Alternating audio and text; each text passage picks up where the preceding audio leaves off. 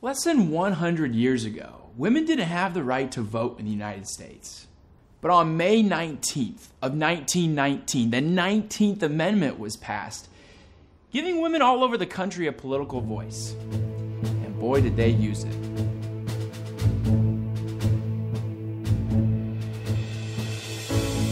An organization called the League of Women Voters was created by the suffragists the people who fought so hard to give women the right to vote. Their goal in starting the organization was to, quote, finish the fight. We tracked down some present day members who focused their efforts here at the League of Women Voters of Metropolitan Columbus to share with you their stories from the fight for good government. Oh, I love the fact when the League was first founded, it was going to spend was five, ten years maybe educating women, and we would solve all the world's problems, and then they could disband. And that was, uh, what, 95, 96 years ago? I joined the League of Women Voters in April of 1957. I joined the League sometime in the 1970s. I've been a member of the League for 60 years almost 40 years. 62 years. That's a long time.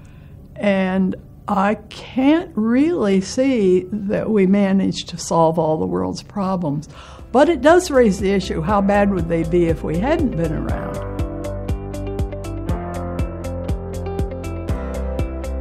From 1920 and through today, the League has relied on passionate, hardworking, intelligent volunteers to rally around the idea of good government.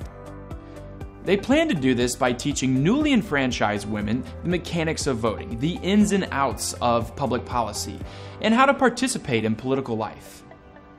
One of the most important things that we do is educating voters, and particularly educating them right before the election so that they can really be prepared in a very concrete way in real life. We have our voter information bulletin that is distributed to over uh, 450,000 households. They're available in libraries, social service organizations, so a wide variety of opportunities to get your questions answered and become more informed. We've really changed the culture of how you vote, how you can be eligible to vote. You know, back in the 70s, it was the League of Women Voters of the United States that set up the first presidential debates. That was a quite an accomplishment to convince the candidates to appear on television and debate each other. And then eventually, when it became accepted, the networks took it over. And I think our impact continues uh, with voter service, candidates meetings, and educating others. Once a project comes up that, or something comes up that needs a community involvement, uh, some study or some action, I think one of the first groups they think of is the League of Women Voters. And the League gives you this nonpartisan credibility that gets you into things and get you listened to. We support positions, but never any political party or candidate. And I think that speaks very loudly to many people that we are issue focused. There are still study groups that a new member can select to be on and learn the issues. And out of these study groups come recommendations for positions.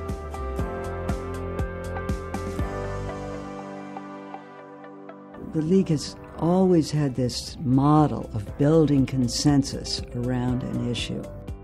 And then once that position is defined, then the League can take action on that position. And wonderful thing about the League of Women Voters is it truly is a grassroots organization from the bottom up for sure. Political action that was nonpartisan and rooted in research and consensus attracted a particular kind of woman to the League of Women Voters. In the 1960s and 70s, the League was at its strongest. They recruited volunteer housewives who were looking for an outlet for their skills and interests. those women were eager to take action just for the sake of improving the communities they lived in. First off, everybody's welcome to join the League. People join the League because they want to do something. They want to be involved in this, this movement.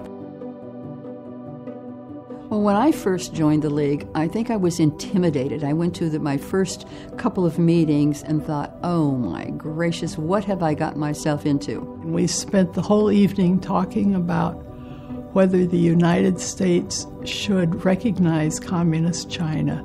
The presenter of the program, which was about foreign policy, just started in and talked and talked and talked, and I was sitting there overwhelmed. And I thought, oh wow, we spent a whole evening talking about something substantive. Whatever it was clean air or water or children's welfare, voting rights, uh, all of those. And I'm thinking to myself, wow, that's a lot to know.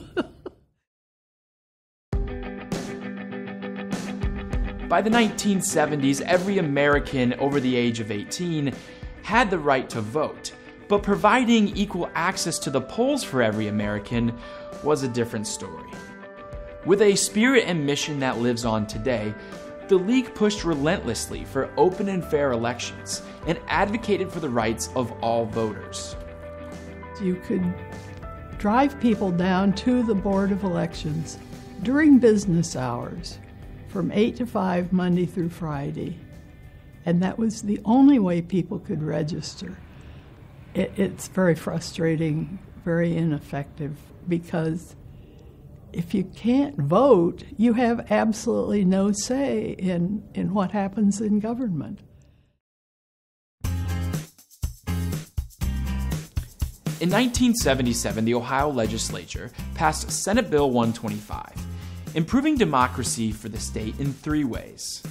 First, it allowed Ohioans to vote by mail, and second, it made possible registering to vote on election day. And finally, it permitted volunteers to help other people to register to vote, those who otherwise wouldn't be able to do so themselves. If you did a change of address at the post office, they would automatically change your voter registration. That got knocked out later, and we lost election day registration. And then, of course, the last few years we've been playing defense to try and keep many of those things from being chipped away at. In a democracy, few things are as important as just getting people to the polls so they can exercise their right to vote, and then making sure that the whole electoral process is fair. And that's why the League of Women Voters has such a strong focus on drawing district lines that ensure that voters pick their representatives, not the other way around. Um, Ohio, as we all know, is a battleground state, meaning we are about 50 50. So one would think that with that political climate in Ohio, that our delegation of 16 representatives to Congress would be divided 8 8, 9 7, something along those lines.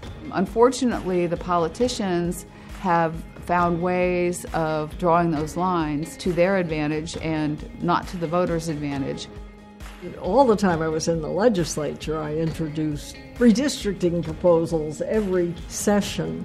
And it's sort of interesting to look at who sponsored them because when the Democrats were in control of the process, all my co sponsors were Republicans. When the Republicans got hold of the process, all my co sponsors were Democrats. But that is not reflective of the political values of the voters of Ohio. It's too bad. We really have assist. We have developed something that would be better, and we we had a wonderful proposal back in 2010, but unfortunately, wasn't good enough to convince the legislature that they should try it because no politician wants to give up power. Uh, they actually the only kind of politicians who want to give up power are the League of Women Voters who believe in fair and equal, impartial districting. On November 3rd, 2015, Ohio passed a pretty darn historic ballot measure, making it difficult for politicians to draw state legislative districts for their own partisan gain. In addition to voting rights and fair elections, the League has always had a particular interest in the welfare of children. The Metropolitan Columbus League took a decidedly strong stance when it came to our juvenile justice system. I ended up really looking at child welfare and then the juvenile justice system is where I spent a lot of time in the 70s.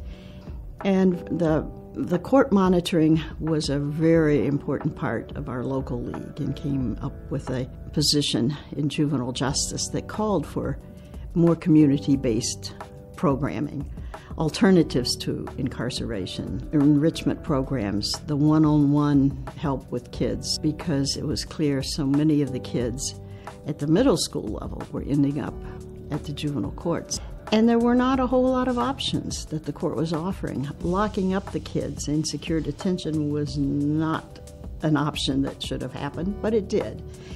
And once the kid had run away from home a couple times, we were putting them into very punitive, deep end of the systems.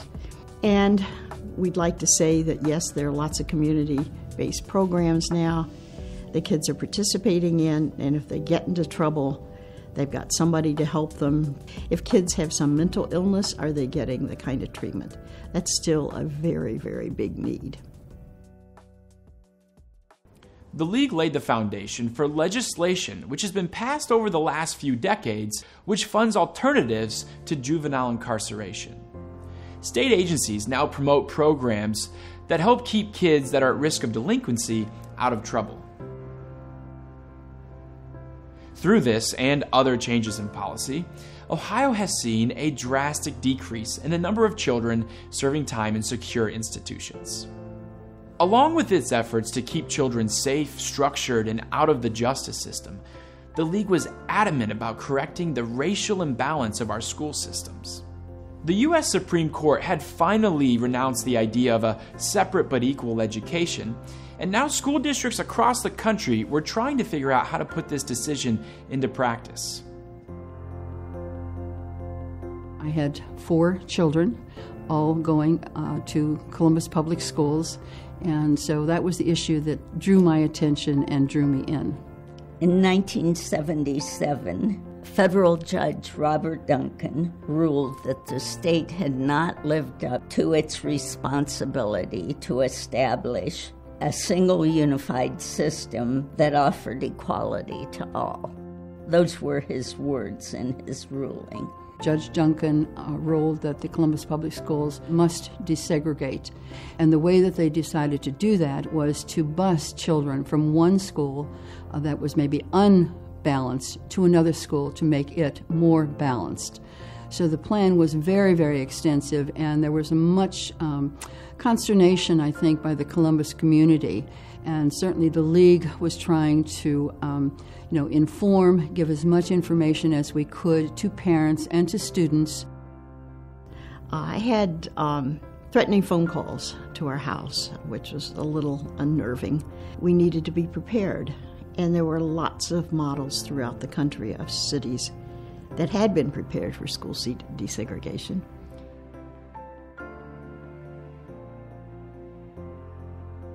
And we visited several of those. We also visited some where there had been riots and where there had been kids hurt and parents hurt and um, mayhem in the streets, and we knew we did not want that in Columbus.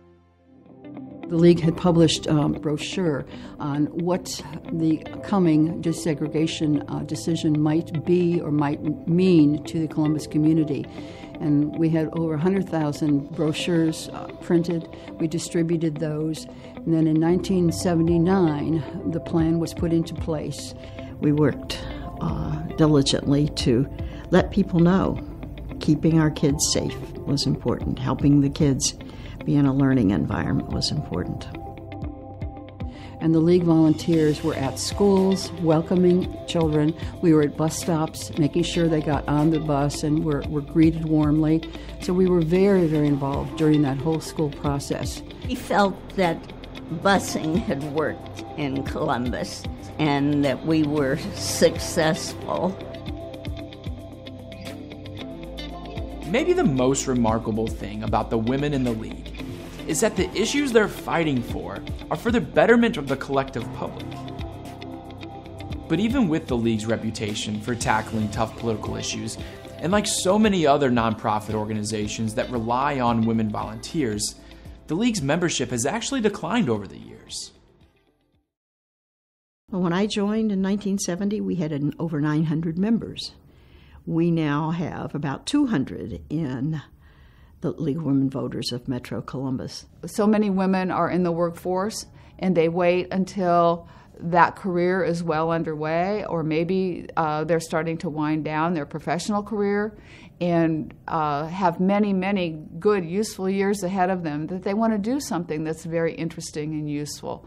But I think we have to face the reality that the younger folks who will carry the league forward aren't going to have that kind of time. They're not like I was uh, at home with two kids and having time to make phone calls and do some research and get a babysitter and go out to a meeting. Those days are pretty much gone. So we've had to change the way that we study issues and reach consensus. And we voted to allow men to be full voting members. And um, in fact, we have a local league president who's male right now, and we've had in the past. And it's happened all over the country, which is great. Um, we also voted not to change our name. We are the League of Women Voters. We started that way, and we were told by trademarking people that if we gave up our name, it could be used by somebody else. And we did not want that to happen because we'd built a reputation. 95 years after its founding, the League of Women Voters looks a little bit different than it did in 1920. But the people who were its backbone in the 60s and 70s can see clearly how they benefited from the League, and we can see clearly how our community has benefited from their leadership.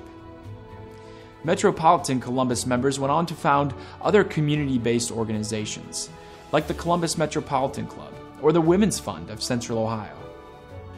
They ran for political office and launched new careers as a result of the skills and confidence gained through League volunteerism. The quote, clubs in downtown Columbus were not at that time open to women. So uh, that, that was really the impetus behind forming the Columbus Metropolitan Club the governor's office at that time asked a group of women, and some of us, several of us, were from the League of Women Voters, and I think that's why uh, they they approached us. They were asking the question, what what do we need in this community to help people be more informed? What would women like to see? After several meetings with this group of women, a consensus arrived that what we really needed was some kind of a regular forum where people could come together. And we early on decided that it shouldn't be just women, even though it was started by women, it should be women and men. I represented the League on the Metropolitan Columbus Schools Committee, uh, which was made up of elected officials, judges, uh, social workers, religious leaders, leaders from every facet of our, of our community. I guess I have always aspired to be a leader. I seemed to gravitate toward the opportunities that would provide that kind of development. And a lot of that, I think, came from League. I learned public speaking, learned how to run meetings, learned what it was to sit down with a group of people who I felt, quote, outranked me. Never got a degree, but what I did get was a PhD in LWV, some of the things that League did for me, learning a lot about how one operates and runs a statewide campaign. I thought, you know, I've spent a lot of time criticizing legislators. And I thought if I can be that critical, I should get in there and prove I can do a better job. In any event, I just went to the Delaware County Party chairman and said, I'm running for office. I didn't say, Can I run for office? Should I run for office? I just said, Hello, I'm Joan Lawrence. I'm running for office. And that's part of what the League hopes will happen is that people will look at issues that are important to them and figure out how to do something about it. And really, running for the legislature, I touted my experience and knowledge, and it all came from the League of Women Voters. I've brought along a copy of the book I wrote and hold it up and say, if you want to know more about the good and bad side of vote by mail, this is a book I wrote for the Federal Election Commission, and I can get you a copy of it. And this seems to get through to them that I'm not just a nice middle class housewife. The whole league consensus building process, uh, major, major influence on my leadership style. I think one of the things that I appreciated so much in the League of Women Voters is people really were not there furthering their own agendas or where they, uh, you know, where they were going. I learned to work with those people, but it wasn't hard. We made uh, good friendships, lasting friendships. Some of the best friends I still have are people that I met through the League of Women Voters. It was a great, great network, and it helped me uh, not only through my league uh, participation, but also in my personal um, evolvement and my personal education, if you will. It's made up of people with that kind of dedication. There'll always be things we need to fix. So I really believe that whatever small things we can do uh, in our own community are, are going to have a, a ripple effect. Uh, each individual can make a difference. So there's always work to be done on keeping our democracy uh, fresh and alive and reflective of people's values.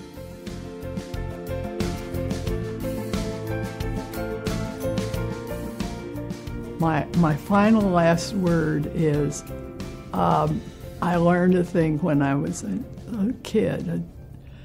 Uh, that light which has been given to me, I desire to give undimmed others.